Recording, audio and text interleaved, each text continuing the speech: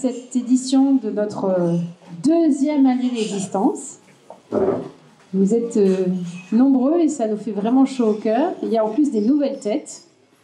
Alors sachez que si vous voulez être prévenu par mail hein, du Café Shalom, vous pourrez venir me voir tout à l'heure pour mettre votre adresse email sur la liste de diffusion.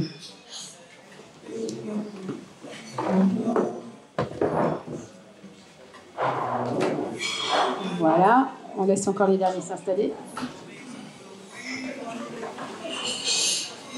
Voilà. Attention à la caméra. Ah, c'est bon. Donc, soyez toutes et tous les bienvenus. Donc, je vous rappelle le concept. Café Shalom. On va avoir euh, une présentation d'un sujet par un invité pendant une, bonne demi-heure. Ensuite, sur la base d'un texte. Alors ce soir, c'est un peu différent, mais sur la base d'un texte euh, de la Torah. Et ensuite, derrière, on va avoir une exégèse euh, du rabbin Rabibo. Et surtout, la troisième étant, c'est la vôtre. C'est vous qui posez les questions, c'est vous qui animez. Il n'y a pas de sujet et de questions tabou. Du moment qu'on est dans le respect, on peut tout poser comme question.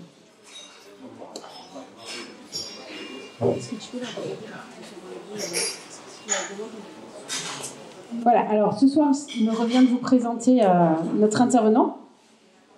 C'est M. Moussa Abou Ramadan, qui a été euh, juge en Israël dans les tribunaux euh, et professeur à la faculté en Israël et qui, depuis une dizaine d'années, est professeur à la faculté de droit à l'UNISTRA à Strasbourg. Donc, c'est pas moi qui monopolise la parole. Un petit mot, Rabbin Rebibo. Je suis très heureux que Moussa ait accepté de, venir ce soir. Euh, j'ai eu la chance de le connaître il y a quelques temps. J'en dirai un petit mot tout à l'heure. Je prends juste la parole pour euh, une petite explication.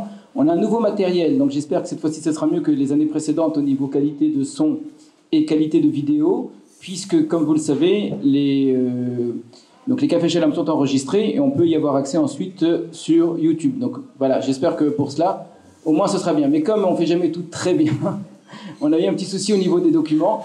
Donc euh, on aurait dû distribuer un document parce que la règle effectivement c'est d'avoir un texte. Euh, et donc en l'occurrence, euh, je devrais dire le, professeur Ramadan, avait prévu un texte, un texte de la Mishnah, un texte de l'Agmara. Euh, j'ai pas, pas eu le temps aujourd'hui de, pouvoir mettre ça en, page. Alors s'agissant de Torah oral, puisque c'est le Talmud, alors on va rester dans l'oral. Alors soyez très attentifs parce qu'il va citer les textes euh, du Talmud et euh, je pense avec ensuite un comparatif avec, la, la, loi islamique et donc on reviendra là-dessus par la suite. Merci à tous. Voilà, je remercie d'être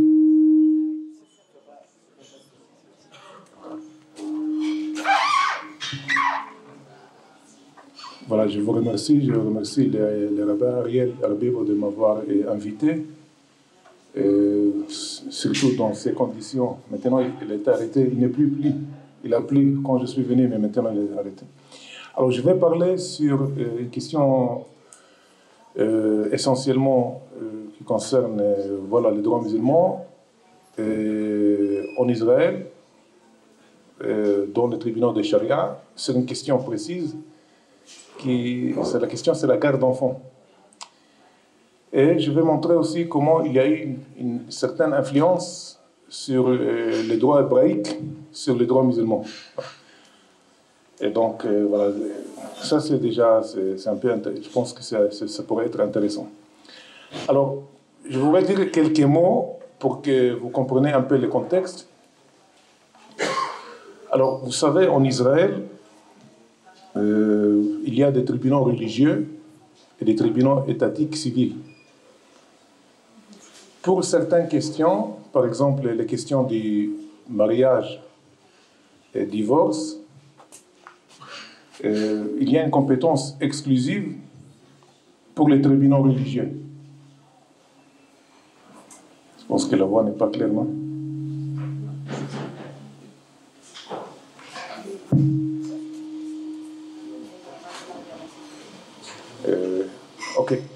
Alors, pour les affaires, disons, ce qu'on appelle l'affaire de la famille, il y a des compétences exclusives concernant euh, les mariages et divorces, ça veut dire si on est des juifs, c'est uniquement le tribunal rabbinique qui va être compétent. Si on est des musulmans, c'est uniquement le tribunal de charia qui va être compétent. Si on est des chrétiens, ainsi de suite. Ça, c'est pour les affaires de mariage et divorce. Vous ne pouvez pas aller devant un tribunal civil. Qu'il y a des tribunaux civils aussi en Israël. Parce que c'est une question qui est considérée comme de compétence exclusive. Alors, il y a d'autres matières, d'autres matières dans lesquelles on peut choisir, soit aller devant un tribunal civil, soit devant un tribunal religieux. Et une de ces matières, c'est la garde d'enfants. La, garde des enfants, on peut choisir soit aller devant un tribunal civil,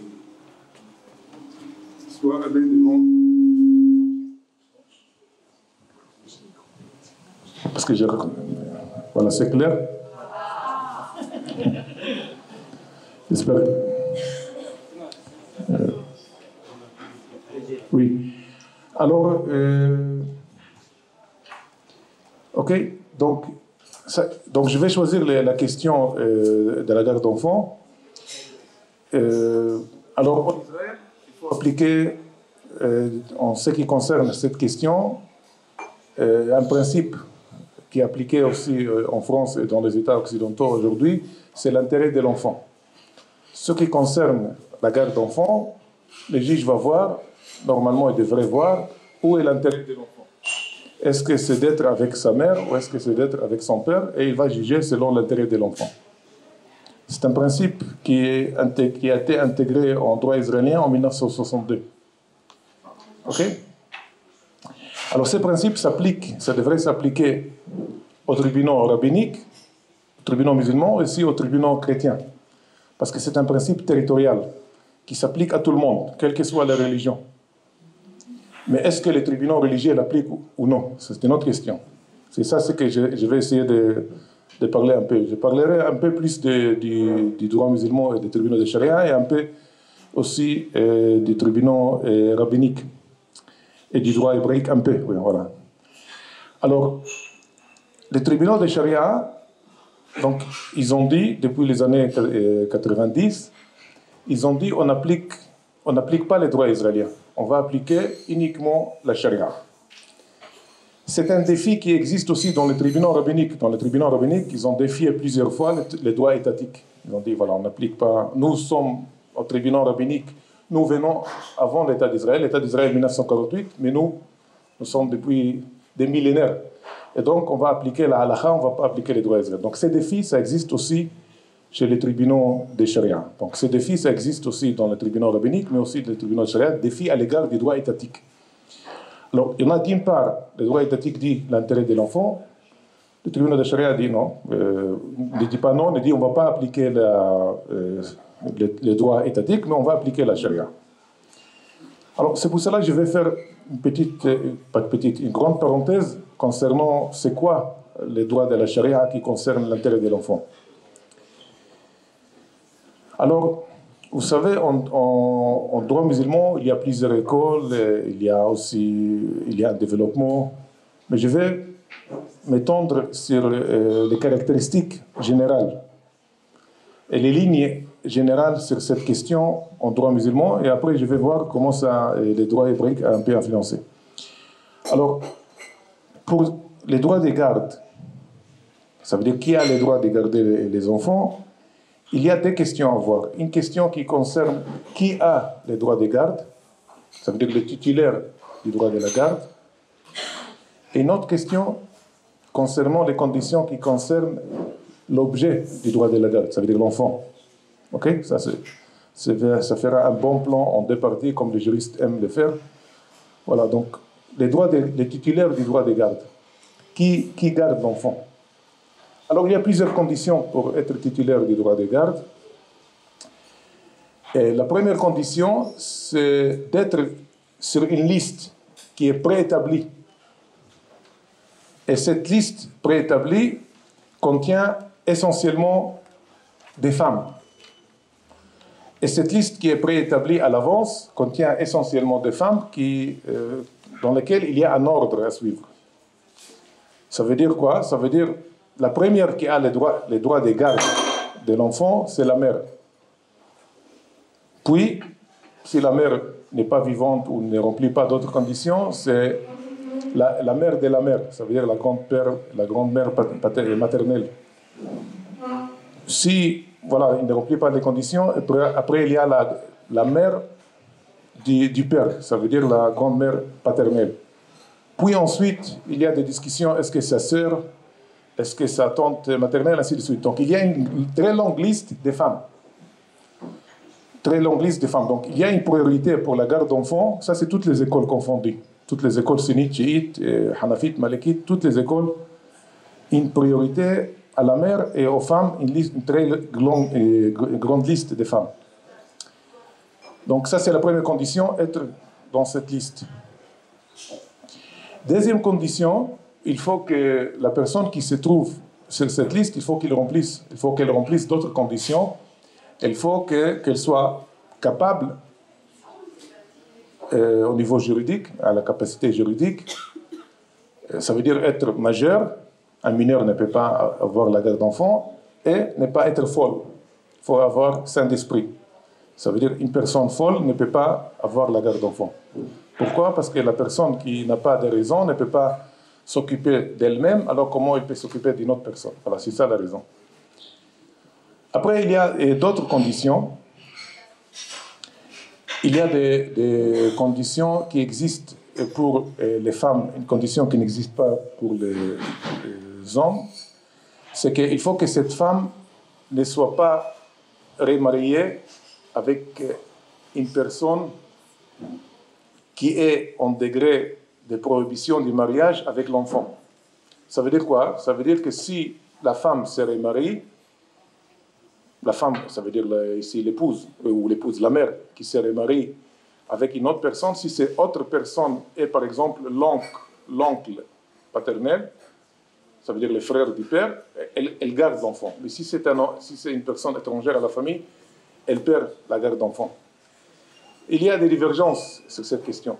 Ici, par exemple, euh, ce que je vis dans, dans la halakha, par exemple, ce n'est pas, pas, euh, pas une, euh, question de la déchéance. On ne va pas déchoir la femme pour cette raison. Euh, la plupart des, disons, des personnes dans la halakha, ils ont dit ça. Mais dans les droits musulmans, il y a des personnes qui n'acceptent pas cette règle. Il y a une école qui n'accepte pas cette règle. Elle dit que si la mère se remarie, elle ne va pas perdre la garde d'enfants. Pourquoi? Parce que dans cette école, ils ont dit que la garde d'enfants a été, la, mère a été préférée sur les pères par des textes. Il y a, des, différents textes des de propos des hadiths. Et donc, dans ce cas, pour, pour la déchoir, il faut qu'il y ait un autre texte. Et il n'y a pas d'autre texte. Il y a un autre texte que les autres dans les autres écoles, les autres juristes utilisent pour euh, la déchéance de la mère en cas de remariage, mais cette école, qui est l'école Zahirite, il dit, ça veut dire l'école Zahirite, ça veut dire en arabe c'est littéraliste. Ça veut dire que cette école littéraliste, il dit, il n'y a pas de texte, et le, et le texte que vous utilisez, ce n'est pas un texte authentique pour, disons, déchoir la femme, euh, pour la déchéance de la femme. OK? Alors, euh, il y a d'autres conditions, par exemple, conditions de il y a conditions de religion. Il faut, euh, est-ce qu'il faut que la femme, par exemple, qui veut garder l'enfant, est-ce qu'il faut qu'elle soit musulmane? Parce qu'un musulman peut se marier avec une juive ou une chrétienne. Est-ce qu'il faut que la femme soit musulmane? Alors, il y a une évolution. Donc, du 8e jusqu'au 10e siècle, ils ont dit ce n'est pas, ce n'est pas une obligation. Donc, une femme juive ou une femme chrétienne peut avoir la garde. Mais à partir du 10e siècle, on constate un changement dans la doctrine, ils ont dit elle peut garder l'enfant tant que l'enfant ne comprend pas les phénomènes religieux. Alors, quand est-ce qu'il va comprendre les phénomènes religieux? Est-ce que c'est à 3 ans, 4 ans, et ainsi de suite? Mais il y a une évolution dans, cette question. Ok, ça c'est en gros les règles. Alors, qu'on est, disons, la deuxième partie qui concerne l'enfant, l'objet du droit de la garde. L'objet du droit de la garde, l'enfant. Alors, il y a différentes. Euh, en droit hébraïque, ils ont dit, euh, voilà, mais ça, ce n'est pas accepté par tout le monde. Jusqu'à 6 ans, c'est la mère. Après 6 ans, Euh, donc les garçons vont chez le père et la fille chez, la mère. Il y a d'autres qui disent, bon, ce n'est pas, ça c'est ce que la lacha est présentée de cette manière. Mais il y a ceux qui disent non, ce n'est pas comme ça. il y a en fait, il y a une prédominance du père. Et après, euh, la, mère a certaines fonctions à accomplir. Et s'il n'accomplit pas certaines fonctions, donc on va transférer l'enfant euh, de la mère au, père. Alors, ça c'est en droit hébraïque tel que voilà, sous contrôle des, rabbins, je, parle. Alors, en droit musulman, concernant l'enfant, c'est jusqu'à, ils ont dit, jusqu'à l'âge de 7 ans, il va rester chez sa mère. D'autres disent, si c'est une fille jusqu'à l'âge de 9 ans, elle va chez son, puis elle va chez son père. Alors, il y a des différences entre les écoles. Il y a des différences. Il y a euh, certaines écoles, ils vont dire, après 7 ans, il choisit. Il choisit entre son père et sa mère. Euh, d'autres, ont dit non, il ne peut pas choisir parce qu'il va choisir la plus mauvaise personne. Donc, euh, il, il, ne fera pas un bon choix. Et donc, euh, il faut l'imposer. Et donc, au-delà de 7 ans, si c'est une fille et un garçon, et au-delà de 9 ans, si c'est une fille. Donc, ils ne vont pas donner les choix. Il y a une divergence sur cette question. D'autres ont dit, une troisième position a dit qu'il fait choix, donc on lui donne quand même les choix, mais s'il fait la les mauvais choix, on va rectifier ça, on va donner à la bonne personne. Alors qu'est-ce qui est bonne personne, qu'est-ce qui est mauvaise personne? Ça, c'est dit à l'appréciation euh, du juge. OK? Donc on voit ici euh, des conceptions différentes entre les écoles, entre une conception qui concerne le droit de l'enfant, qui, qui donne plus de droits, plus d'autonomie, et une autre conception qui est plus paternaliste. Donc une conception qui, qui, qui sait à quoi euh, l'enfant doit s'attendre et qui donne à l'enfant malgré lui. Ces deux positions existent jusqu'à aujourd'hui dans, le système juridique étatique. Ces deux positions sont conflit jusqu'à aujourd'hui. Est-ce qu'on donne les droits à l'enfant ou est-ce qu'on garde l'intérêt de l'enfant malgré sa volonté? Il y a toujours cette euh, opposition entre l'autonomie de la volonté de l'enfant et l'approche paternaliste. Alors, ça existait, ces débats existaient aussi dans, dans, droit musulman. Quand je dis droit musulman, je parle du 19e jusqu'au 19e siècle, donc c'est beaucoup. Alors, tout ce que je viens de dire, rapidement, est-ce que ça applique Est-ce que ça contient l'intérêt de l'enfant? Parce qu'on a dit, voilà, ça c'est le droit musulman, alors le tribunal de charia doit appliquer l'intérêt de l'enfant. Mais, mais tout ce que j'ai dit, si les tribunaux de charia en Israël appliquaient tout ce que j'ai dit, ça pourrait être contraire à l'intérêt de l'enfant, pour plusieurs raisons. Pour plusieurs raisons. Tout d'abord, le concept de l'intérêt de l'enfant, c'est un concept qui, qui, travaille ou qui fonctionne in concreto. Ça veut dire, on ne va pas établir des règles à l'avance. On va voir l'enfant spécifique et on va voir où est son intérêt. C'est comme ça que ça fonctionne, par exemple, le droit français, le droit américain, c'est comme ça. Il n'y a pas de règles à l'avance. Alors le fait d'établir des règles à l'avance, ça pourrait contredire l'intérêt de l'enfant. Et en plus, il y a des questions, par exemple, de religion ou des questions de genre, par exemple les remariages, qui pourraient être contraires, contraires euh, à l'intérêt de l'enfant. Il pourrait y avoir qu'une mère qui se remarie, l'intérêt de l'enfant, peut-être ce sera mieux d'être chez elle, bien que sa mère s'est remariée. Alors, mais sinon, il devrait avoir que chaque jour, on aurait une intervention de la Cour suprême israélienne pour euh, annuler les décisions du tribunal charia. Mais concrètement, ce n'est pas le cas. Ce n'est pas le cas.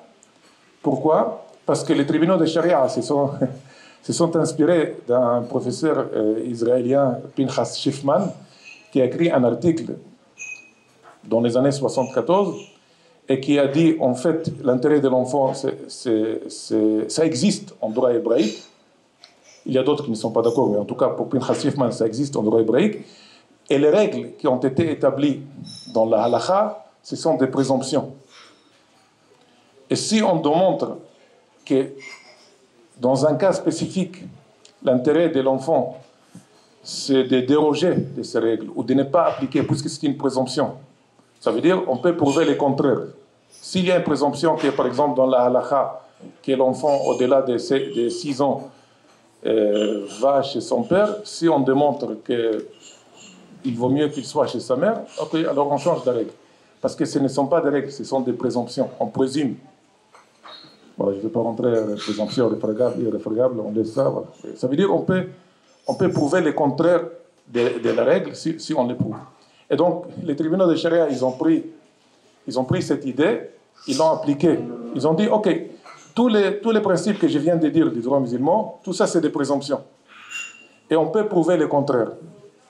Et automatiquement, chaque fois qu'il y a, disons, euh, un, rapport d'un travers social qui montre que l'enfant est chez sa père et son mère, contrairement aux règles disons, des droits musulmans que je viens de décrire, il dit, OK, c'est bon. Par exemple, il pourrait être, par exemple, qu'un enfant à 15 ans, il pourrait être chez sa mère parce que son intérêt d'être chez sa mère. Ça veut dire quoi? Ça veut dire cette technique de s'inspirer, disons, d'une partie du droit hébraïque de prendre certains concepts et de l'intégrer dans le système euh, judiciaire musulman, ça permet d'une part aux tribunaux musulmans de dire voilà, on applique la charia, voilà, on est pieux, voilà, tout, le monde est content.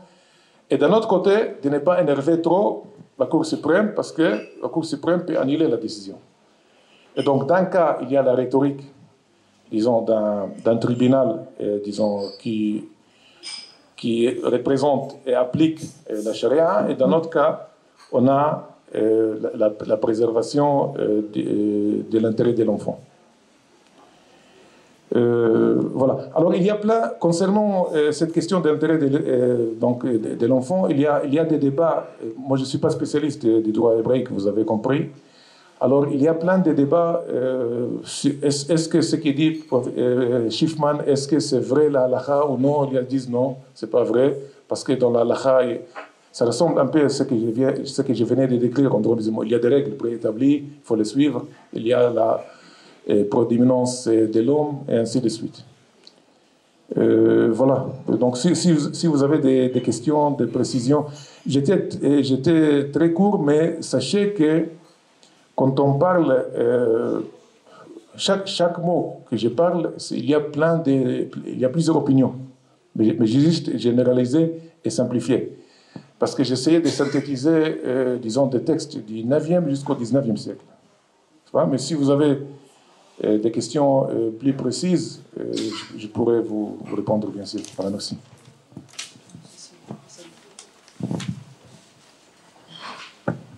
bonsoir à toutes, bonsoir à tous. Je vais, je vais reprendre, Moussa, si tu veux bien, résumer un petit peu ce que tu as dit pour voir si personnellement j'ai bien compris, puis ça permettra comme ça que le, qu'on on fasse le point pour pouvoir avancer ensuite. Alors tout d'abord, merci beaucoup d'avoir accepté de, de venir. C'est un, un, honneur pour nous, pour nous tous. Euh, la première fois que j'avais rencontré, j'étais très surpris puisque on était en train de, de, chacun faire une présentation des, différentes religions. Et puis je cite un mot en hébreu. Et puis tu me réponds en hébreu. Je dis mais euh, comment ça se fait? Et puis là voilà. Et puis depuis eh ben, euh, Dieu merci, on, on, a appris à se connaître. Et donc effectivement vous avez entendu derrière chaque mot il n'y a pas simplement différentes opinions, derrière chaque mot il y a des développements très très très complexes. Et on s'en rend peut-être pas compte mais il y, a, il y a un effort de résumé qui est extrême ici. Donc, je vais essayer simplement pour que moi, voir si j'ai bien compris. Euh, concernant le, droit musulman, concernant la garde d'enfants, depuis le départ, donc depuis euh, les premiers hadiths qui soient cités, euh, où Mohammed dit bah, tu gardes l'enfant puisque c'est toi qui l'as, il, parle à une femme. Donc il y a l'idée que normalement, c'est la femme qui garde les enfants ou celle qui pourra représenter la femme. Ça a été interprété depuis le départ comme étant une protection de l'enfant. Pour quelle raison c'est la femme qui garde l'enfant? Parce qu'elle est, elle, euh, la mieux euh, à même de pouvoir s'en occuper. Il n'empêche que malgré cela, et malgré la liste préétablie de personnes qui sont censées euh, garder l'enfant, soit la mère si elle peut, si c'est pas la mère, la grand-mère ou l'autre grand-mère, etc., il existe malgré tout une sorte de, cadre patriarcal qui fait que ce, qui fait, ce, qui, justifie la garde de la, de la mère plutôt que le mari, c'est parce que, on l'a clairement dit, uniquement pour protéger l'enfant mais que dans le principe, si un père était capable de protéger l'enfant mieux que la mère, évidemment, c'est évidemment, j'ai précisé, c'est lui qui l'aurait. C'est-à-dire que, et c'est sur ce point que j'ai voulu être sûr d'avoir bien compris, que euh, dans le principe, c'est au père de garder l'enfant. puisque c'est son enfant plus que celui de sa, de sa femme. Mais qu'il n'est pas capable de le faire, donc on va le donner à la femme. Et, que ça, et donc, puisque c'est purement théorique, ça va apparaître dans certaines questions très précises. Euh, si par exemple, eh ben, justement, si la mère s'est remariée avec quelqu'un d'autre et que ça pose problème, euh, si euh, pour n'importe quelle raison le mari va pouvoir montrer que il lui-même sera bien plus capable que la mère, il, il y a malgré tout l'idée d'une sorte d'attachement de l'enfant à la famille du père plutôt qu'à la famille de la mère. C'est-à-dire, c'est un petit peu comme si la mère était la nourrice, c'est celle qui lui a donné naissance, c'est celle qui l'a accouché, c'est celle qui s'occupe de lui mais, euh, mais son rôle de mère est presque secondaire à celui du père. Est-ce que sur ce point, c'est juste déjà? Pas tout à. Oui, oui voilà, merci pour, pour euh, voilà, proposer. Alors, en fait, la personne principale euh, qui a la garde d'enfants, bien sûr, les, les, juristes musulmans, ce n'est pas des, des, féministes, vous avez bien compris. On, on parle d'une société, société patriarcale, c'est clair. Donc on parle des sociétés patriarcales, ce n'est pas des féministes. Mais pour eux, parce qu'ils pensent que la mère peut, mieux garder, surtout dans la période d'allaitement et aussi au-delà.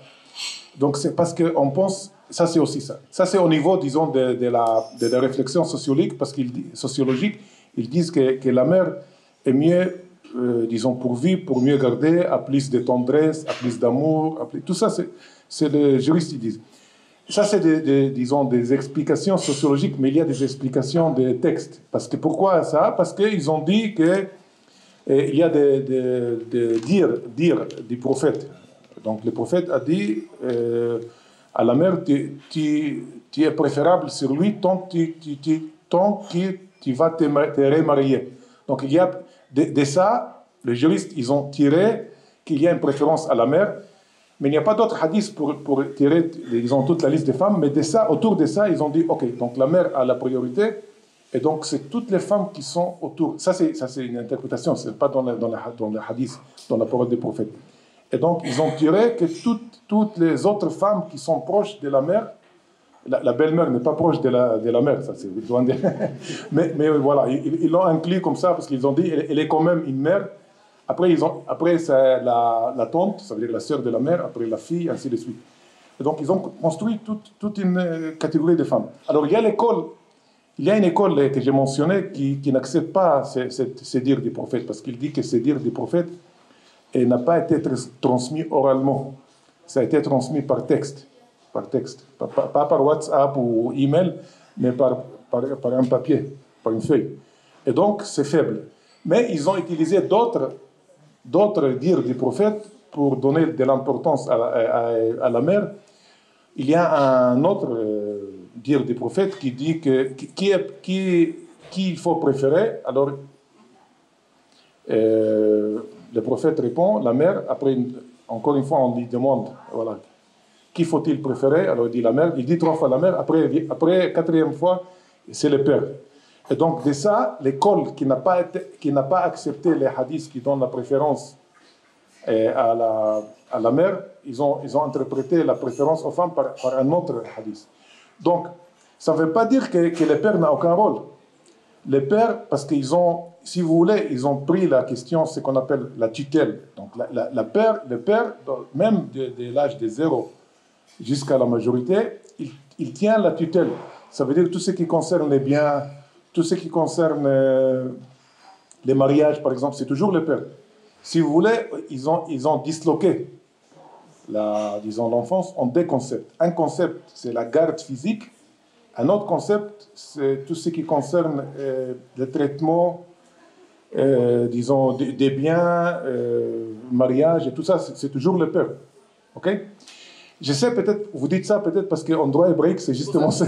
C'est justement ça. C'est Israël. Mais il y a, il y a je ne suis pas spécialiste, mais par exemple, dans l'article d'Israël Gilad, il, y a ceux qui disent, il y a ceux qui disent que l'intérêt de l'enfant, toutes ces règles ont été faites pour l'intérêt de l'enfant, comme Pinchas mais il y a par exemple Israël Gilad qui dit non, celui qui a les pouvoirs exclusifs, c'est le père, et la mère, voilà, tient comme ça pour une fonction spécifique. S'il ne fait pas bien cette fonction, ça revient au père. Mais, pour, les, pour les droits musulmans, non. Donc la garde, c'est essentiellement à la mère. S'il ne fait pas bien sa fonction, il y a une autre femme. Et une autre femme, ce n'est pas le père. C'est sauf si toutes ces femmes vont mourir ou je ne sais pas quoi. Donc c'est juste. Euh, à la fin de la grande liste. Et, le deuxième point, euh, je reviens sur ce que tu as dit pour être sûr d'avoir. Euh, euh, donc, il y a une liste qui est, qui le côté formel du droit. Donc il faut suivre cette liste. On considère que cette liste, c'est le droit de l'enfant normalement, on a une présomption. Maintenant, euh, et ça c'est pour moi vraiment c'est le, point qui m'intéresse beaucoup, tu as montré que dans l'État d'Israël, dans les tribunaux de charia, on s'est inspiré de ce qu'ont fait les tribunaux rabbiniques pour euh, faire prévaloir le droit de l'enfant contre finalement la forme de la charia habituelle. C'est-à-dire que si normalement ça revient à une, à une, des mères, à une des femmes, mais qu'on montre que vraiment c'est pas le droit de l'enfant, eh bien on va dire oui, mais en fait le droit musulman, dans l'essence, ce qu'il recherche, c'est le droit de l'enfant, donc on va suivre le droit de l'enfant et donner à l'autre parent.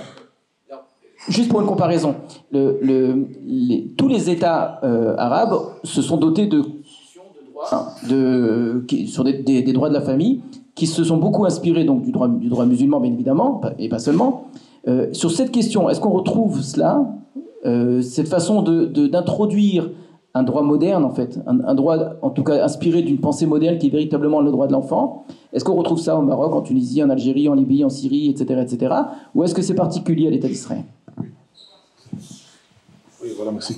Alors, euh, il y a des questions en fait. La première question concerne les tribunaux de charia. Euh, concernant cette liste, ce que j'ai dit, c'est en droit musulman classique, mais concrètement, les décisions, ça joue dans, le, la, famille nucléaire, ça veut dire entre les pères et la mère. Normalement, dans la décision, on va, on plus c'est très rare. J'ai vu que seulement deux, trois décisions.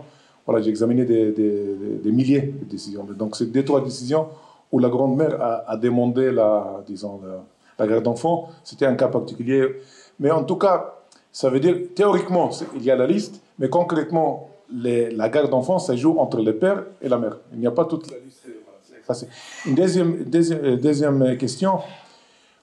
Qu'est-ce qu'on dans, dans, les, États arabes qui se sont inspirés, disons, du, du droit musulman, alors il y a, euh, y a beaucoup de réformes. Les réformes consistent, consistent en quoi? Consistent à allonger, à allonger l'âge de l'enfant, euh, qu'il soit avec euh, sa mère. Par exemple, parce qu'on a dit, par exemple, l'école Hanafi dit, voilà, 7 ans si c'est un garçon, 9 ans si c'est une fille. Mais, mais par exemple, en, droit égyptien, ils ont dit jusqu'à 15 ans. Donc, ils ont allongé l'âge. Au Maroc, ils ont fait une réforme en 2004, ils ont allongé l'âge de la garde d'enfant jusqu'à 18 ans ça veut dire que le père n'aura jamais les d'enfants. Parce qu'après 18 ans, il y a la majorité. Donc, ils ont. Et ça, c'est aussi. Ce n'est pas. C'est, disons, c'est un accroissement du droit euh, des femmes, mais ça ne veut pas dire forcément l'intérêt de l'enfant. Voilà, je m'excuse auprès des femmes, mais on pourrait. Ce n'est pas automatique si on donne à la femme que, que ça, ça va jouer pour l'intérêt de l'enfant. L'intérêt de l'enfant pense dans une autre optique c'est chaque fois on examine de nouveau. Et ici, comme par exemple le droit américain, donc de, l'âge 0 à 18, il y a aussi, c'est contraire au principe d'égalité entre hommes et femmes, mais il y a aussi, et ça pourra ne pas être nécessairement euh, conforme au principe de l'intérêt de l'enfant, parce qu'il pourrait être que son père est mieux, peut-être. Alors donc, pour, pour, répondre, ils ont réagi en allongeant, en, en allongeant l'âge, en pensant que ça c'est l'intérêt de l'enfant donc pour, résumer sur ce dernier point, euh, il y aurait, si j'ai bien compris, il n'y aurait que dans les tribunaux de charia en Israël qu'en fait euh, on, fasse véritablement intégrer le droit de l'enfant tel quel, par une simple, que, le, que le juge réfléchisse vraiment sur l'intérêt de l'enfant, sans utiliser justement euh, un allongement d'âge, etc. Et que dans les autres pays, ce serait de manière plus formelle quelque chose qui serait euh, une, suspicion d'intérêt d'enfant. Mais, de, dire que comme en droit moderne, de manière tout à fait comparable au droit moderne, euh, les, tribunaux de charia ou les tribunaux rabbiniques vont, euh, vont, vont, chercher simplement, comme, tu as dit, in concreto l'intérêt de l'enfant et c'est tout. Après avoir tenté d'avoir d'abord d'avoir placé la loi religieuse, si finalement on voit que ça pose problème, eh bien c'est la loi sociétale en fait qui s'impose. Ça, ça c'est le résultat le résultat final. Mais il y a un processus, il y a tout un processus dans lequel ils vont dire, voilà, dans la lacha c'est comme ça, ils vont faire, écrire 20 pages. Après, ils vont, ils vont avoir ce qu'il dit un travailleur ou un travailleur social, ce qu'il dit. Ça, c'est le résultat. Ça veut dire il y a quand même une différence entre les raisonnements d'un tribunal civil, parce que je vous ai dit en Israël, il y a aussi un tribunal civil, un tribunal religieux. Il y a quand même une différence dans le raisonnement. Un tribunal civil, quand il a une question de garde d'enfants, que ce soit juif ou musulman, peu importe la religion, il va, il va voir directement, il va, euh, voir, et va nommer par exemple un travailleur social pour examiner où est l'intérêt de l'enfant. Un tribunal rabbinique, il va nommer un travailleur social, mais, dans la décision, il va dire, voilà, selon la halakha, Rambam a dit ça, ça, ça a dit ça. À la fin, il va suivre, parce que s'il ne va pas suivre, la, Cour suprême va annuler cette décision. Mais la Cour suprême, tant que, euh, voilà, on, tant que ça, ne passe pas l'intérêt de l'enfant, et tant que ça c'est au niveau juste du discours, euh, on cite voilà, des hadiths, on cite du Coran, on cite, voilà, euh, tant qu'à la fin, il a l'intérêt de l'enfant, il n'intervient pas. Merci beaucoup. Hein. Je, suis désolé d'avoir. Euh, ça change par rapport au, café Shalom habituel. Comme c'est des, questions assez complexes, et je, voulais que ce soit, bien clair. Alors, je, vais revenir, moi, certains points. Euh, cette question-là, qui, est une question de droit, hein, c'est une question de droit très spécifique. Hein, qui est-ce qui a la, garde de l'enfant euh, dans, une situation de, divorce Comme n'importe quelle question de droit, euh, suppose en arrière-plan ben, toute une philosophie du droit, toute une pensée du droit et certaines valeurs. On en a entendu quelques-unes. Hein. La valeur de l'intérêt de l'enfant, c'est une valeur. La valeur d'égalité, homme-femme, par exemple. La, valeur de, liberté, de choix. Euh, la valeur qui sont que des valeurs aujourd'hui qui sont parties, on va dire, dans le monde moderne, mais d'autres valeurs qui le sont peut-être moins aujourd'hui, mais qui le sont énormément dans beaucoup de religions. La valeur de la famille, du patriarcat, qui, en était une véritable, euh, sont autant de valeurs qui vont bah, s'entrechoquer. la question, c'est bah, de tout cela, comment est-ce qu'on arrive à la décision? Alors, si on, pose la question simplement à un, étudiant de halakha, un petit peu, c'est quoi la règle dans l'halakha euh, Qu'en est-il du, droit de garde? Il va vous répondre de manière assez simple, je pense, et assez rapide, euh, en disant euh, que si on regarde le Shulchan donc le, code de loi, jusqu'à l'âge de 6 ans, le garçon est avec la maman. Après l'âge de 6 ans, c'est avec, avec le père. Et pour une fille, eh ben, la fille reste avec la mère. Ben, c'est très simple, euh, sauf qu'en vérité, c'est beaucoup, beaucoup plus complexe que cela. En vérité, euh, ce sujet n'est traité tel quel, comme, comme un sujet en, tant que tel, avec les détails, avec la question posée, nulle part dans le Talmud. On le déduit, cela, du Talmud, effectivement. Euh, et la question là-bas dans le Talmud de savoir euh, dans quel cas un homme eh bien, peut demander à, à ne pas payer ses mésolotes, c'est-à-dire les, la pension alimentaire, voilà. Et donc, on, s'il veut faire dépendre cette pension alimentaire du droit de garde, donc il y a une discussion qui va, qui va, qui va, qui, va ressortir. De là, on va avoir des développements à l'époque des Géonimes, c'est-à-dire l'époque qui suit juste le Talmud, on est autour du 8e, 10e siècle. Il y a Maïmonide qui va écrire, et dès que Maïmonide écrit quelque chose, sur ces questions-là, ça prend quasiment force de loi, même si en vérité c'est très différent peut-être de ceux qui l'ont précédé. Et puis après, on va voir tout un développement à travers l'histoire. Donc Maïmonide, on est, on est autour du 12e, 13e siècle. Et euh, vous allez avoir ensuite eh bien, euh, toute la loi Jules qui va se développer sur tous les continents. Pour cela, il faut savoir que les tribunaux euh, rabbiniques, pendant très longtemps, dans quasiment tous les pays du monde, traitaient de manière entièrement autonome les questions qui étaient liées à ces questions-là. Donc ce n'étaient pas des questions purement théoriques. Il ne s'agissait pas de dire bah, comment j'interprète le Talmud. C'était dans la réalité de tous les jours, comment est-ce qu'on fait? Et ces questions étaient posées. Et donc on a des livres qui sont des codes de loi, on a des livres qui sont des, des, livres de commentaires du Talmud, etc. Et puis on a surtout ce qu'on appelle des shelot tu vois, des responsables, et qui, qui sont euh, considérables, où, on met par écrit les questions qui se sont posées, les réponses qui ont été apportées. Et donc, euh, si on veut utiliser cette question, il faudrait effectivement euh, observer tout cela.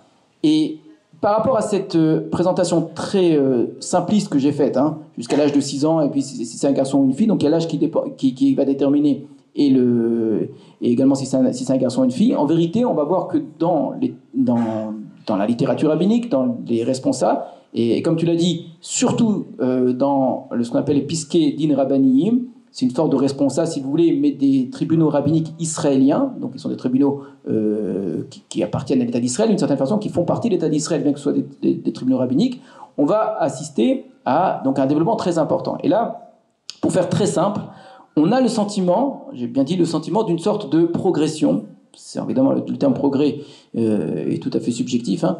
euh, en tout cas d'une sorte de, de, changement qui, se, qui s'opère au, au, cours de l'histoire, avec au départ une sorte de règle préétablie qui fait que c'est le père qui est le maître de la famille, donc de son épouse et de ses enfants. Donc il n'y a pas d'égalité homme-femme au niveau des parents. Et donc si on doit se poser la question de savoir à qui revient la garde, ben, c'est évident que c'est au, père d'une certaine façon. On a un petit peu ce sentiment là au départ. Et pourtant, malgré cela, le Talmud va dire que euh, la mère a la garde des enfants dans, beaucoup de cas. Et pour essayer de comprendre comment se fait-il que dans une société patriarcale, ce soit la mère qui ait la garde des enfants, ce qui est mis en avant, et on l'a très bien entendu, c'est que c'est mieux pour l'enfant que ce soit sa mère qui le garde. Donc contre une idée euh, d'un père qui, dirige la famille, on a, oui, mais quel est le véritable intérêt de l'enfant? Et c'est sur cette base-là qui a été euh, présentée très tôt hein, dans, la Lara, très très très tôt, on, a, on, a, on a exprimé cette idée que l'intérêt de l'enfant prime. Ça vous paraît évident ce que je suis en train de dire. Vous allez voir que ça, ça n'allait pas, pas autant.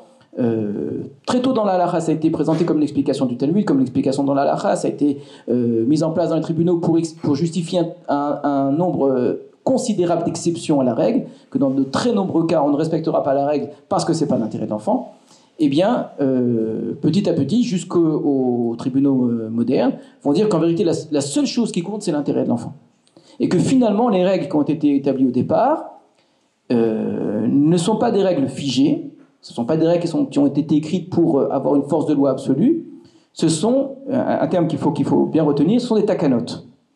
Ça n'est pas non plus de simples idées, bien sûr que non, c'est une takana, ce sont des règles, mais des règles, comme on a dit, sur une forme de présomption. Euh, un droit fonctionne avec des décrets, avec des règles. Il n'y a dans la Torah nulle part aucune mention qui, soit faite au sujet de qui, est-ce qui a la garde des enfants. D'accord? Donc à partir de là, les tribunaux sont en charge d'assurer le bon ordre de la société, que les choses se passent bien, etc. Et donc, sont en mesure, ont le droit euh, d'établir certains décrets. Ça s'appelle une takana. Dès qu'une takana est établie, comment est-ce que l'on on, évolue par rapport à une takana? Et là, on va avoir des, attitudes très différentes hein, parmi les différents, les différents maîtres. Il y a ceux qui disent, bah, du moment que takana est faite, eh bien, on doit s'en tenir à la takana au maximum. Et d'autres vont dire, dans une takana, en tout cas dans certaines takanotes, peut-être pas toutes, euh, ce qui est bien plus important, c'est l'idée, l'esprit de la takana. Or, l'esprit qui a justifié la takana au départ, c'est l'intérêt de l'enfant. Donc, on continue avec cet esprit-là. Et aujourd'hui, si l'intérêt de l'enfant, c'est au contraire de le donner au, père alors qu'il faudrait donner à la mère, ou donner à la mère alors qu'il faudrait donner au père, ben c'est ça qui compte. Et on, assiste effectivement de plus en plus, euh, il y a un très très grand nombre de textes qui sont tout à fait explicites, hein, et qui vont dire que quasiment, hein, je, je, caricature, on va, on va faire disparaître les, règles premières, au nom de simplement que depuis le départ, la seule chose qui comptait, c'était cet intérêt de l'enfant. Et que quand la Mishnah parlait, quand la Gemara parlait, quand le Rambam parlait, etc., c'était euh, dans une société dans laquelle l'intérêt de l'enfant était, a priori, euh, de, se retrouver chez son père dans certains cas ou chez sa mère chez d'autres. Voilà, voilà l'idée euh, très générale. De fait, et, là tu l'as, très bien dit tout à l'heure, quand on observe bien tout cela, on est quand même face à, à deux valeurs qui, doivent plus ou moins cohabiter. La valeur d'un intérêt d'enfant pur, et malgré tout la valeur que quelque part, c'est quand même le père qui dirige la famille. Et c'est à lui de gérer cela. Et pour comprendre cela, je vais, vous montrer comme quoi ce qui nous, nous paraît évident, ce qu'on appelle, euh, bah, c'est évidemment l'intérêt de l'enfant qui, prime, ça n'a vraiment strictement rien d'évident dans nos sociétés à nous. Parce que ça peut paraître bizarre, nos, deux euh, lois semblent en décalage avec la société actuelle.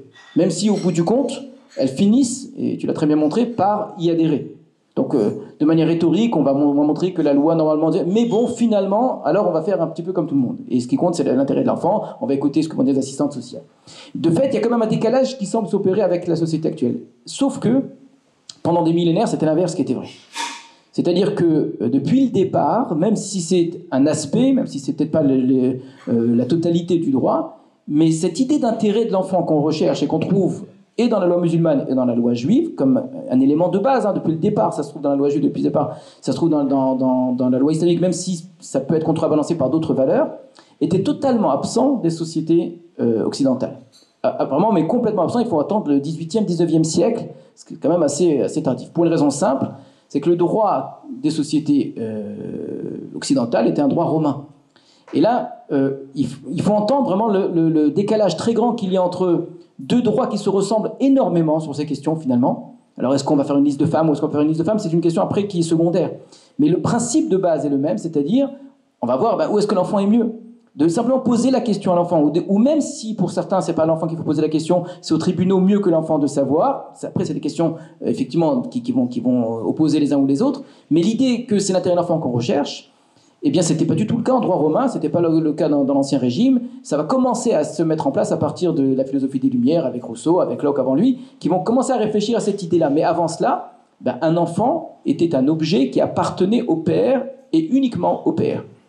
La femme, dans le droit romain, la mère, n'avait strictement aucun statut juridique, parce que le mariage n'avait pas de véritable statut juridique. Donc, euh, une fois qu'une femme avait donné ses services pour caricaturer à cet homme-là en lui donnant un enfant, elle avait donné l'enfant à cet homme-là, mais l'enfant n'était pas le sien, au sens juridique du terme. Et donc, euh, ça va durer très très longtemps, même si en droit canon, dans le droit chrétien, au départ, on va mettre en place des idées de ce type-là, qu'on va retrouver comme dans l'islam, comme dans le judaïsme, euh, l'ancien régime, ça l'arrangeait pas du tout, parce que l'ancien régime, euh, on connaît l'expression de Louis XIII, eh bien, là où il y a une famille, il y a un père, et si on y a un père, c'est qu'il y a un souverain. Donc tout fonctionne avec cette idée d'un patriarcat qui finalement, c'est une justification de, de tout l'ancien régime. Et donc, il s'est passé dans le monde occidental dans lequel nous vivons un revirement total. C'est-à-dire on est passé du tout au tout. D'une société dans laquelle l'enfant n'avait strictement aucun droit et, euh, et certainement pas euh, une, idée à mettre en avant ou un, bien quelconque à rechercher pour cet enfant-là. C'est pas du tout ça qui été recherché. À l'inverse, aujourd'hui, on a fait disparaître toute autorité euh, au-dessus de lui. Et la seule chose qui compte, c'est lui. Où est-ce qu'il sera le mieux? Et donc, ce sera euh, aux parents de s'arranger. Ça sera la meilleure solution si eux s'arrangent entre eux. Et si eux ne s'arrangent pas, eh bien, alors effectivement, on va essayer de trouver d'autres solutions. Donc, regardez comment le, droit euh, des sociétés occidentales est passé du tout au tout avec comme valeur, une valeur qui existait auparavant très fort dans le droit romain, la valeur de liberté. Sauf que la valeur de liberté dans le droit romain, elle appartient qu'à certaines personnes et pas à tout le monde, et donc pas aux femmes, pas aux enfants, même les enfants libres et certainement pas aux esclaves, etc. Mais l'idée de liberté est fondamentale dans le droit romain, beaucoup plus que dans la. Je ne veux pas m'avancer sur la, sur la charia. La notion de liberté n'est pas du tout aussi importante dans, le, dans, dans la. Dans le droit romain, la, notion de liberté est essentielle, sauf qu'elle est réservée à certaines personnes. Et c'est quand même assez intéressant. Mais cette notion de liberté qui apparaît dans le droit romain va prendre de l'ampleur pour finalement être élargie, élargie, élargie. Finalement, tout le monde a cette liberté. Et la notion d'égalité. Ça, c'est un premier point. Deuxième point, euh, si on veut comparer un petit peu les, droits religieux et le, droit moderne, c'est le droit occidental de manière générale, euh, il y a un terme qui, est un petit peu euh, difficile. C'est la notion de droit de garde. C'est pas le terme garde qui m'embête, c'est le terme droit. Les deux parents veulent faire prévaloir leur droit de garde, comme si les parents ont un droit sur l'enfant. Et ça, c'est pas aussi simple. C'est même contradictoire, c'est une forme d'incohérence à l'intérieur même du droit. Si véritablement chaque homme est entièrement libre, donc l'enfant aussi devrait être libre, sauf qu'il ne peut pas exercer totalement sa liberté parce qu'il n'en a pas une totale conscience, etc. Mais c'est vraiment lui qui est libre, et donc puisqu'il est libre, c'est son intérêt que je dois rechercher, c'est à cela qu'on est arrivé aujourd'hui, ben, ses, parents n'ont aucun droit sur lui en vérité. C'est pas parce qu'ils lui ont donné naissance qu'un parent dit oui mais je veux qu'il soit chez moi, le, le, pourquoi tu devrais vouloir quoi que ce soit? Or il me semble, en tout cas dans la euh, de manière assez intéressante, ça me, paraît bien ressortir, et avec une cohérence générale dans, le système juridique du Talmud, euh, il n'existe pas de droit, de, une sorte de droit d'affection, un droit de parentalité, un droit à avoir un enfant, un droit à, s'occuper d'un enfant. C'est pas un droit qui existe dans la Et euh, c'est pas un sentiment qui existe, le sentiment existe. La question c'est est-ce que d'un sentiment on fait, on fait un objet de droit? C'est tout à fait différent. Évidemment que les parents ont une affection, etc. Mais est-ce que ce sentiment-là suffit à donner un droit à quelqu'un?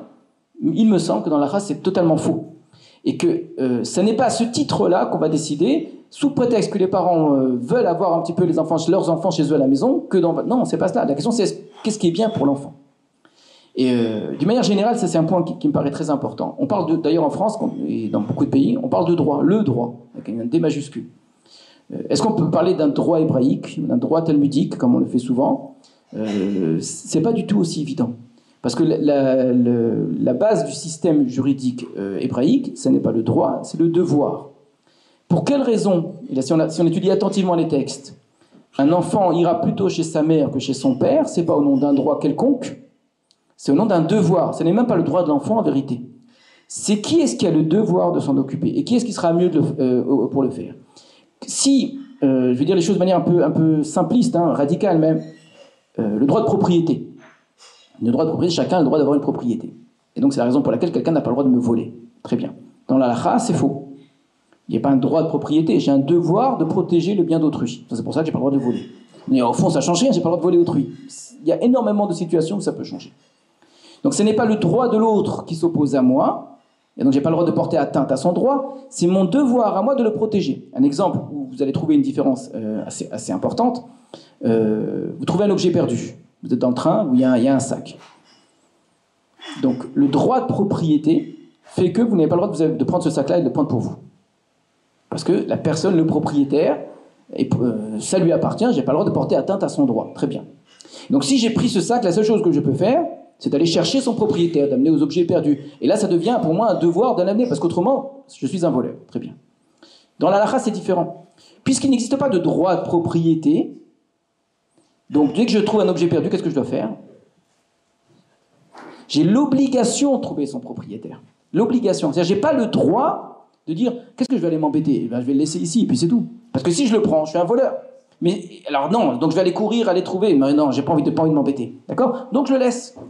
Laisser l'objet, dans la Bible c'est écrit de manière très claire, tu n'as pas le droit de le prendre pour toi, tu dois chercher le propriétaire, et tu n'as pas le droit de l'ita'alem. L'ita'alem en français ça veut dire euh, passer outre. Ignorer. Voilà, ignorer, très bien. C'est-à-dire ne, pas tenir compte, dire écoute, ça m'intéresse pas. Non, tu peux pas. Il y a un devoir d'assistance à objet perdu. Donc, euh, d'où vient cette différence-là?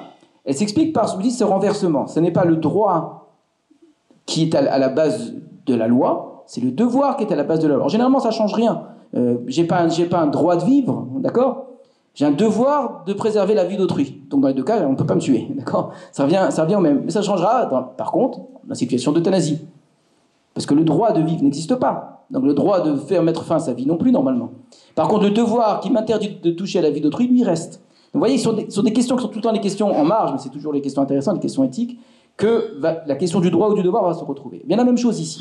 Et on va voir dans la lacha très souvent, non seulement une présomption, et là, c'est quelque chose qui est complexe en vérité, euh, quel est l'intérêt de l'enfant? L'intérêt de l'enfant, ça n'est pas que de savoir qui va le mieux lui donner à manger. Alors c'est sûr, si c'est un bébé que la mère elle allait, eh ben, la question ne se pose pas. Très bien. Mais la question c'est euh, qui est-ce qui a les moyens financiers, bien sûr, mais qui de manière spirituelle va, le mieux, au mieux, au mieux l'éduquer? Qui va décider dans quelle école va le mettre, etc. Et là c'est très compliqué parce que certains auteurs, et non des moindres, vont faire intervenir pour expliquer euh, pourquoi le droit de garde normalement revient au, père dans, beaucoup de situations pour, pour, le fils. Parce que le père a une obligation, pas parce qu'il a un droit, parce qu'il a une obligation d'éducation que n'a pas la mère. À l'inverse, euh, pour la fille, elle sera mieux chez sa mère, pas parce que euh, la mère a un droit sur sa fille, mais parce que la mère a, une sorte d'influence positive sur sa fille que ne pourra jamais avoir son père. Et dans, le document que tu m'avais envoyé, on, retrouve quasiment les mêmes mots dans le droit euh, islamique, où euh, on considère qu'une fille chez sa mère va apprendre les bonnes manières, va apprendre à vivre comme une femme, etc. etc. Donc c'est une question d'éducation. Et c'est un petit peu ça la, question qui se pose derrière. Maintenant, justement, les choses risquent de... pendant très longtemps, ça ne posait pas de problème parce qu'on considérait que euh, tout ce qui était l'intérêt de l'enfant allait dans le même sens. Son bien-être financier, etc. Aujourd'hui, c'est très compliqué. Vous avez euh, un père qui est quelqu'un de euh, extrêmement religieux, quelqu'un de, très versé dans la Torah, qui veut éduquer son fils de la meilleure façon, etc mais qui est connu pour être quelqu'un qui, en termes financiers, euh, n'a pas de travail, ne, sait très mal s'y faire, euh, il est un peu perdu dans, tout ce qui touche. Au contraire, la mère est une situation bien établie. Quel est l'intérêt de l'enfant dans ce cas-là? Eh ben, Une assistante sociale lui dit bah, évidemment, elle sera mieux chez sa mère que chez son père. Pourquoi? Parce qu'elle euh, va lui assurer un, cocon familial avec le père. D'un jour à l'autre, ils vont se retrouver dans la rue, etc.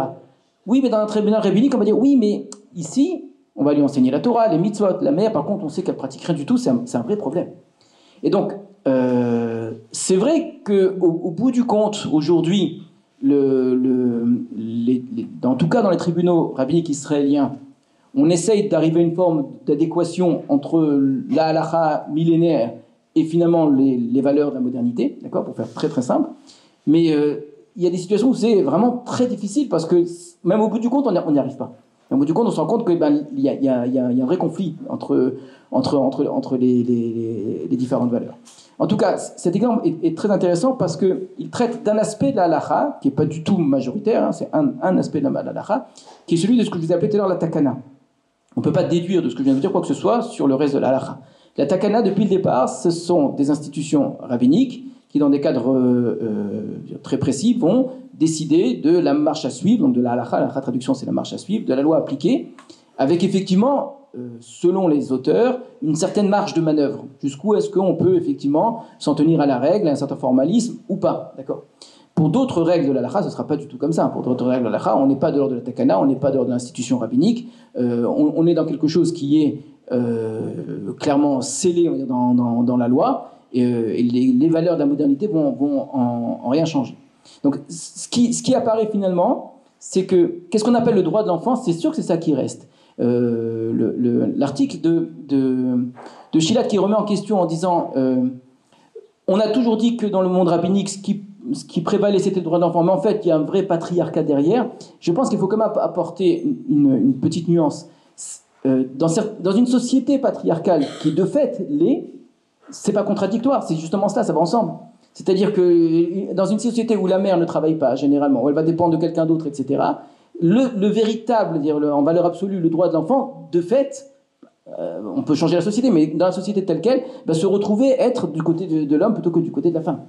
Donc c'est euh, présenter les choses comme si c'était ou l'un ou l'autre, c'est un peu anachronique, c'est une façon d'observer l'Antiquité avec euh, le regard d'aujourd'hui. Mais, dans une société qui fonctionnait comme ça, et je pense l'intelligence des, rabbins modernes, c'est de se dire la société a beaucoup changé aujourd'hui. Les femmes euh, peuvent très bien gagner plus ou autant que leur mari, euh, peuvent très bien être entièrement libres. Et donc aujourd'hui, on peut très bien faire passer le droit de l'homme au droit de la femme. Et finalement, c'est ce qui s'est réalisé dans, la vie de tous les jours.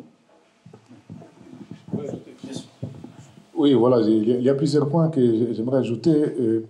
oui, tu as raison de dire parce qu'en en fait, ça serait, la comparaison est un peu injuste. On compare des textes des périodes très anciennes avec un concept aujourd'hui, et donc ce qui fait que les droits hébraïques les droits, musulmans sortent un peu, voilà, ils, vont perdre dans, cette euh, comparaison. Mais si on compare, disons, des textes anciens avec la même époque, on trouvera ce qui était dit. Donc la puissance paternelle, c'est pas juste la puissance paternelle, c'était un, droit de vie et de mort.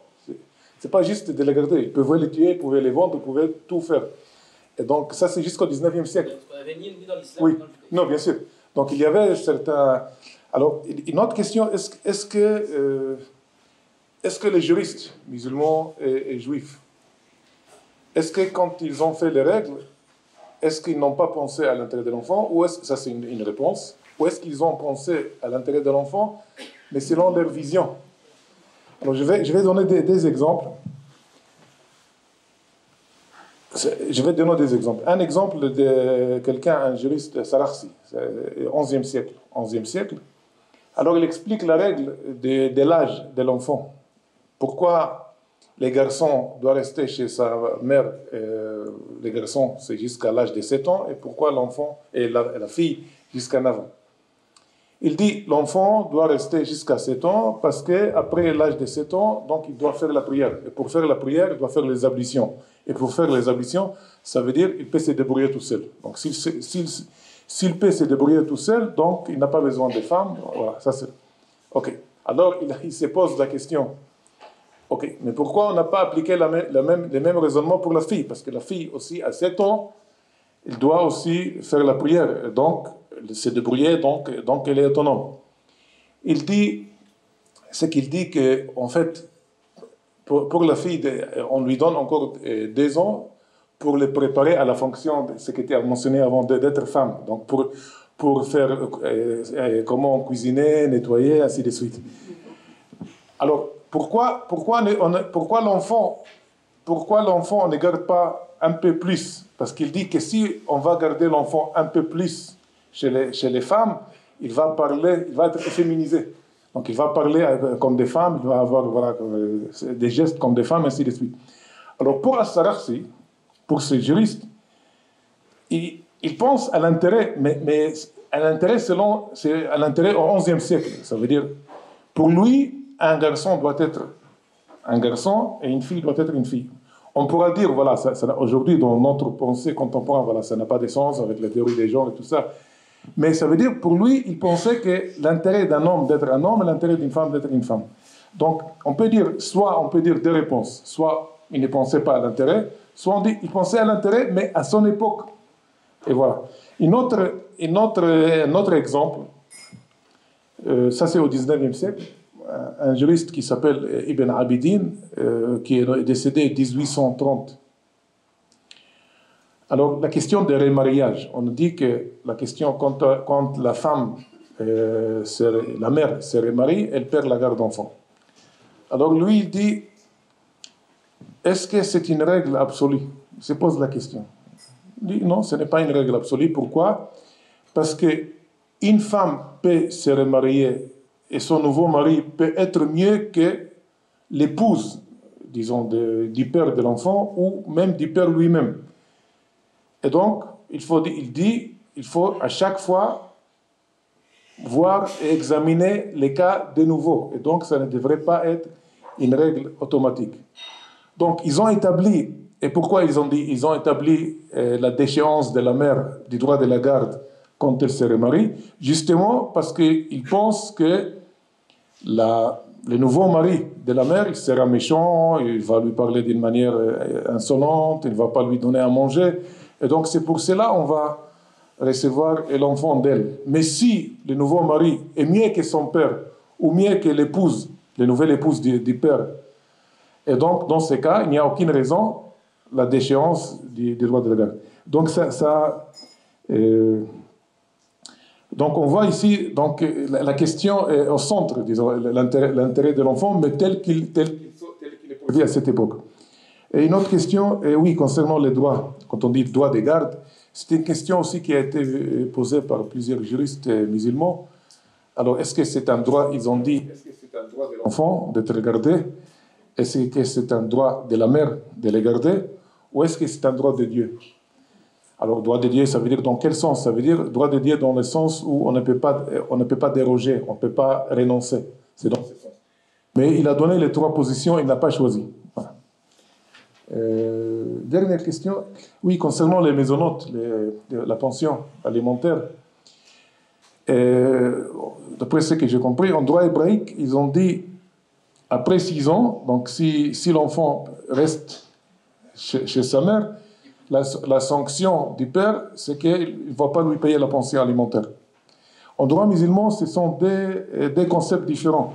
Il doit payer là où l'enfant est, même s'il est avec lui, avec sa mère, peu importe. Donc il y a une dissociation en droit musulman entre la pension alimentaire et la garde. Donc la garde, que ce soit chez, sa mère ou chez, les pères, il doit de toute façon payer, euh, disons, la pension alimentaire. En droit hébraïque, ils ont un peu, euh, disons, lié ces deux questions. Juste sur ce dernier point, tu, as tout à fait raison de manière générale. Il y a, une chélo, tu vois, malgré tout, euh, qui va dans ce sens-là, qui est très novatrice par rapport à ce qui précède, et qui dit que euh, euh, puisqu'aujourd'hui c'est le tribunal qui donne l'obligation de payer la pension alimentaire, c'est au tribunal de décider. Et donc là, on est vraiment dans, la lara moderne, hein, et qui veut dire que euh, puisque c'est le tribunal qui impose la pension alimentaire, un père n'est plus en droit de faire, de, de, faire ce chantage-là, hein, de dire, euh, écoute, si j'ai pas la garde, je donne, donne pas la pension. Le tribunal, dit, moi, je décide que l'enfant et, soit, soit pris en charge euh, par ses parents. Et c'est lié en fait encore une fois à ce, changement de société, c'est qu'avant bah, c'était le père qui était le seul à pouvoir subvenir aux besoins de la famille, et que euh, une différence avec le loi, je me trompe pas avec la loi islamique, c'est que même si le père est très pauvre, il a une obligation de pension alimentaire, alors qu'en droit islamique, je crois que c'est pas le cas. Donc euh, on l'oblige à, tout vendre, à, dépendre de la tzedaka lui-même, parce que il a ce devoir de subvenir aux besoins des enfants. Et, euh, puis il y a une autre, on ne peut pas rentrer, il y a une différence de deux types de pension alimentaire. Une qu'on appelle tzedaka, qui n'est pas une véritable obligation, mais qui fait que je, je dois aider n'importe qui qui est dans le besoin, et mes enfants sont dans le besoin. Et j'ai une obligation d'aider ceux qui me sont proches avant d'aider ceux qui sont loin. Et puis il y a une autre obligation qui est indépendante, qui est celle d'une sorte d'obligation en tant que père. Voilà, bon, ça c'est déjà des, cas plus particuliers. Merci beaucoup, messieurs. Alors, la troisième mi-temps, alors normalement on bosse sur un texte, et puis après, c'est peut-être quelque chose qui est plus facile qu'un qu'un débat juridique euh, Donc, ceux qui arrivent pour la première fois, retentez votre chance la prochaine fois, ne partez pas déçus parce que pour moi, je trouve ça passionnant d'avoir les, deux, les deux visions, mais c'est vrai que c'est pas notre habitude. Alors, j'ai vu plein de réactions dans la salle, notamment par rapport au statut de la femme. on se pose aussi la question est-ce que Qu'en est-il de la garde alternée? Parce que ça veut dire que c'est pas le père ou la mère qui décide de l'école, mais on est à peu près sur euh, aujourd'hui sur une notion de coparentalité. Euh, même s'il n'y a pas une résidence alternée, est-ce qu'il n'y a pas une, une responsabilité des deux parents et, de, dire que c'est pas parce que la résidence est désignée chez l'un ou chez l'autre que l'autre l'abandonne et n'a plus de, ni droit ni devoir. Ça c'était ma question, mais j'espère que vous vous en avez d'autres. Il y a une dame derrière.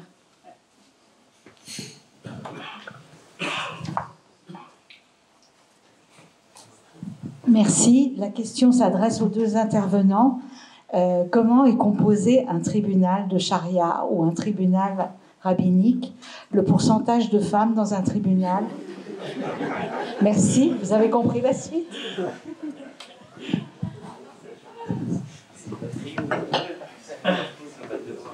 Euh, Oui, concernant la première question, la garde alternée en droit musulman classique, euh, je vais vous donner deux réponses au droit musulman classique. Il y a tout d'abord l'école, l'école qui permet, euh, disons, à l'enfant de choisir. Il peut choisir à l'infini.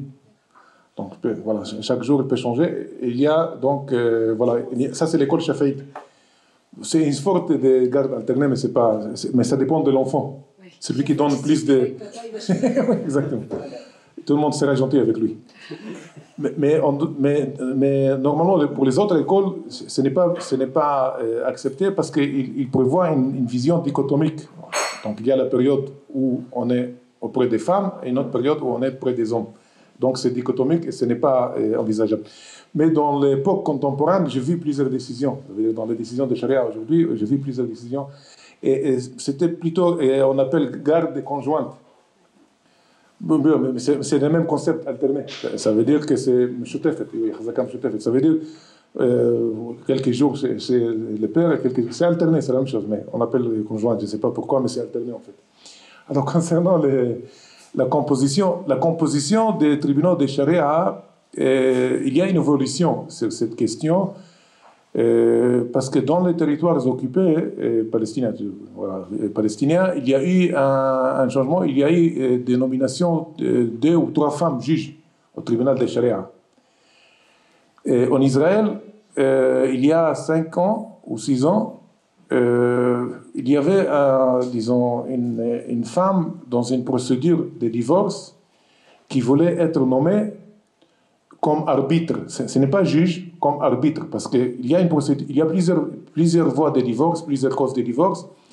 Une cause de divorce, c'est d'être, euh, disons, quand il y a une mésentente entre l'époux et l'épouse, alors on va au tribunal, on dit voilà, on n'est pas d'accord.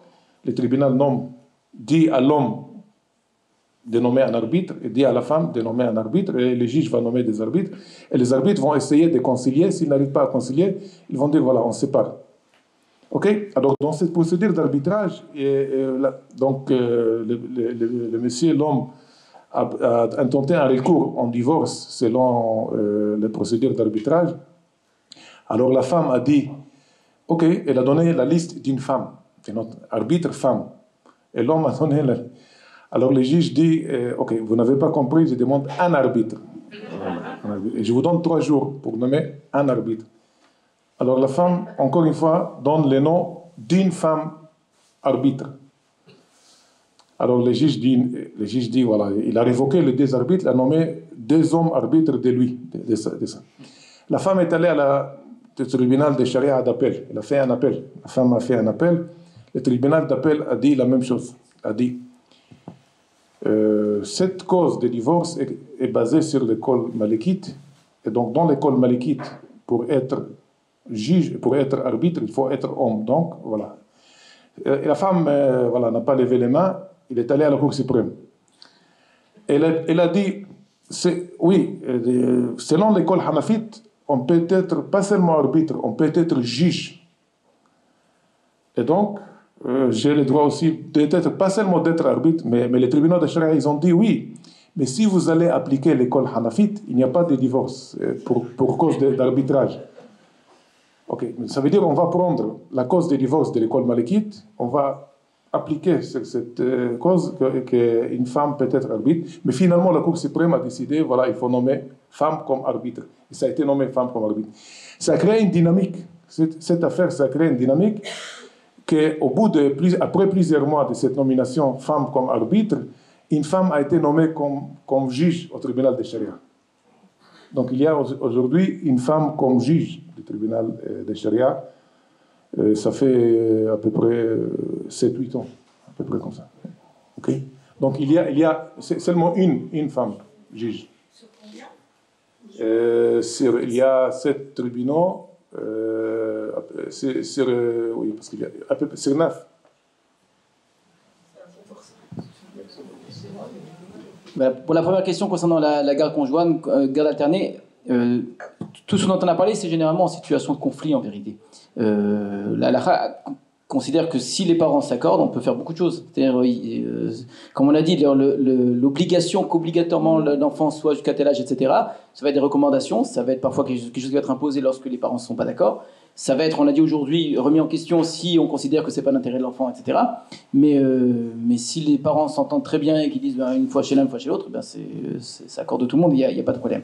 L'autre question qui est beaucoup plus difficile, qui est celle de, la, de combien y a-t-il de femmes dans un tribunal rabbinique? Il n'y en a aucune, effectivement. Euh, la Lacha ne, ne, donne pas la possibilité aux femmes de juger. C'est un énorme débat, on ne pourra certainement pas le développer ce soir. Euh, un énorme débat, quand je dis que c'est un débat, c'est pas une, vraie question, hein, y a, il, y a, un vrai sujet ici qui, qui, mérite une, une, attention. Pourquoi je vous le dis? Parce que une des plus célèbres femmes, voilà, c'est Déborah, dans la Bible, qui était, qui était juge, qui est nommé, qui, qui s'appelle juge. Donc, quelque part, il y aurait un précédent et non des moindres. C'est pas un, pas un petit précédent de et donc, à ce sujet-là, il y a des questions qui se posent. Si, euh, si euh, euh, la société, pour faire simple, les hommes s'accordent pour dire qu'on donne l'autorité à une femme d'être notre juge, est-ce que ça pourrait fonctionner? Certains pensent que oui, d'autres que non, etc. De fait, aujourd'hui, effectivement, il n'y a pas de femmes qui sont juges dans les tribunaux rabbiniques, quels qu'ils soient, qu'ils soient gouvernementaux ou pas. par contre, il y a autre chose qui, est, apparu depuis maintenant pas mal d'années, c'est ce qu'on appelle les Tohanot Rabbaniyot. Euh, Toanet Rabbenit, euh, c'est une sorte d'avocat, si vous voulez, c'est pas tout à fait le, terme. Euh, c'est la personne qui va permettre à la, au parti de venir présenter son problème, son, voilà, j'ai un, je veux divorcer, etc. Donc on va faire appel à quelqu'un qui est expert en droit. Donc on dirait un avocat qui va l'aider à présenter. Euh, on a de plus en plus de femmes qui aujourd'hui sont euh, Toanot Rabbaniyot, parce que euh, généralement c'est pour des raisons féministes, hein, c'est-à-dire parce qu'elles considèrent que euh, le, en, prenant elles-mêmes en main la loi, en connaissant les textes, etc., elles, pourront mieux défendre les, intérêts des femmes je suis pas sûr que honnêtement c'est, ça va dépendre de ça, mais de fait ça, ça a féminisé euh, dire, la, et l'étude parce que à partir de là il faut se mettre à étudier évidemment parce que c'est beaucoup beaucoup d'études euh, et ensuite eh ben, les tribunaux ben, il y a des femmes aujourd'hui qui discutent avec les juges qui remettent en question leur position sur la base de textes rabbiniques en disant vous dites ça mais dans le Talmud il y a écrit autre chose etc et donc c'est une façon de, de, de, par une certaine porte de faire entrer les femmes dans, dans l'étude et dans la justice rabbinique. On a un petit impératif horaire, mais euh, ce serait bête euh, de gratter la troisième mi-temps.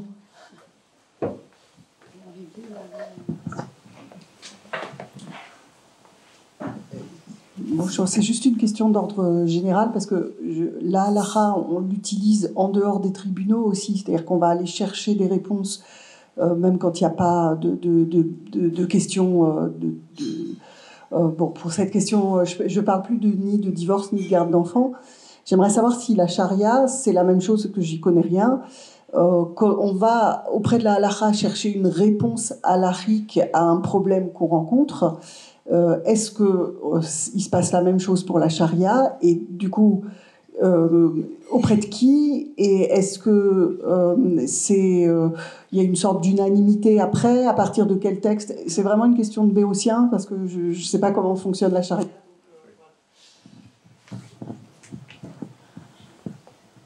Oui, voilà. Euh, oui, c'est la même chose. Par exemple, on peut demander pas, juste des questions juridiques euh, qu'on a parlé. Par exemple, euh, pendant les mois de Ramadan, j'ai mangé, j'ai oublié. Est-ce que je peux continuer le jeûne, par exemple?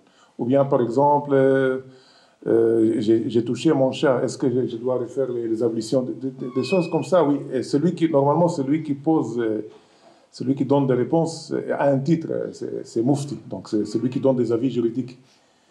Mais, parfois, les, gens demandent euh, à l'imam du quartier sur des questions quotidiennes, pas, juridiques dans le sens large, parce que c'est comme dans la dans, dans le droit musulman, ce qui est droit, ce n'est pas ce qui est seulement droit étatique. Ça, par exemple, faire le jeûne, la prière, les ablutions, tout ça, c'est du droit, mais au sens, euh, au sens large, au sens halakha. Donc, c'est la, même, je pense que c'est le même fonctionnement. Ça veut dire qu'on on demande pas seulement des questions proprement juridiques. on doit quels sont les textes Au niveau des textes, alors, euh, en théorie, il y a, c'est comme, les, comme la, Torah et tout ça, mais après, les, après les, les juristes font ce qu'ils veulent. Donc il y a les textes, il y a la Torah, il y a la Talmud, mais après il y a ce qu'ils font. Il y a des choses. Donc il y a des niveaux. Il y a les niveaux théoriques, les Corans, euh, disons, la pratique et les paroles du prophète qui sont dans des collections. Après, il y a les, opinions du juriste qui, qui ont été écrites euh, tout au long de ces siècles. Donc, euh, comme opinion et aussi comme littérature. Et, à la fin, ce que, la personne va faire, en fait, on ne sait pas ce qu'il va faire parce qu'il y a plusieurs opinions, plusieurs textes, et donc il peut s'appuyer sur un texte ou un autre. Et aussi, il y a la question aussi de, parce que dans les textes, il y a des écoles. Ça veut dire, vous pouvez demander, vous pouvez demander quelle est la position, par exemple, de l'école hanafite, de l'école malikite, de l'école. Et ça, c'est aussi relatif parce que c'est de quelle époque, de quel auteur, parce que mais, mais quand l'imam ou les muftis donnent la réponse, il ne va pas expliquer tout ça, voilà, c'est difficile, il va dire oui, c'est interdit, c'est permis, voilà. Mais en fait, c'est beaucoup plus compliqué parce qu'il y y a des textes, euh, disons, euh, fondateurs, euh, disons, les Corans, la pratique du prophète et tout ça. Après, il y a les textes en dessous, il y a des textes de, de, des juristes. Et donc, quand, je dis les juristes, il y a plusieurs écoles.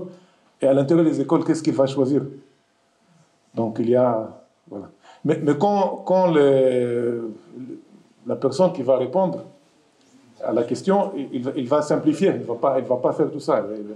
Il dit oui, ça c'est permis, ça c'est interdit, parce que voilà, il y a tel, tel, tel propos, ainsi de suite. Merci beaucoup. Ah, je crois qu'on va être obligé de libérer les lieux. je vous remercie beaucoup tous les deux pour euh, ces interventions qui euh, nous ont amenés dans un autre monde mais tout aussi patiente. Tu veux prendre un mot? Il faut que tu te mettes la cause de la caméra. Euh, ben D'abord, j'aimerais, utiliser, je la carte, j'ai priorisé J'aimerais vous remercier chacun. Euh, donc, au nom du Conseil israélien du Barin, j'aimerais euh, d'abord, été très touché de vous souhaiter la bienvenue. Bienvenue aux gens que je connais, mais bienvenue aux gens que je ne connais pas. Et c'est peut-être finir comme ça, ça peut vous paraître étonnant, mais je voulais insister là-dessus. le fait qu'on puisse s'accueillir l'un et l'autre dans cet espace-là, ouvert, qu'on ait eu ces sujets de discussion, qu'on ait pu parler de charia de façon euh, constructive et positive, qu'on ait pu parler de Talmud et de Torah partagés avec tout ça. Euh, voilà, vous souhaitez la bienvenue à chacun. Le, je crois qu'on pourrait retenir justement de cette idée cette proximité entre euh, la charia et la dans, dans, sa technicité, dans son esprit par rapport à un droit occidental, et cette notion de responsabilité collective qui en ressort. On le voit assez facilement et par rapport à une logique peut-être tribale ou patriarcale qu'on pourrait avoir dans des textes anciens. Et on voit que pas du tout. Il y a une vraie logique juridique. Mais ce côté contemporain, eh ben, c'est surtout se vivre ensemble. Et vous remercier chacun de, jouer le jeu. Euh, S'il y a un an, on, avait on, aurait voulu arriver à cet objectif-là avec Ariel pendant lancer ce projet, c'était vraiment un super objectif.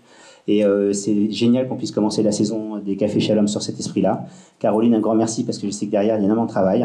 Donc voilà, le vivre ensemble, on le dit souvent, on le fait souvent, on parle souvent interreligieux, mais rarement on le partage. Et euh, c'est ce que j'aurais voulu retenir avec vous, agir dans cet esprit-là. Et vraiment, un merci de la rencontre. Ça? Oui, je. Donc, là, on vous attend dans un mois, le 28 novembre avec euh, Sacha Marche, je sais qu'elle n'a pas qu'elle euh, autour d'un texte sur Ayeka, c'est ça? Euh, sur la Genèse 3, on vous fournira le texte. D'habitude, on est sur un texte ici, effectivement. Mais voilà, en cas, je, je, vous sentez que je suis très ému, mais en fin de compte, parce que c'était vraiment l'esprit de ce qu'on voulait faire. c'était cette rencontre, pas juste de la religion ou des religions, mais de rencontres de gens avec un vécu. Et vraiment et que ça soit aussi des gens qui viennent vers cela. Donc merci beaucoup. À très bientôt. Et donc, si vous voulez être au courant des prochaines éditions et que vous n'êtes pas dans les mails, n'hésitez pas à venir me voir. Bonne soirée.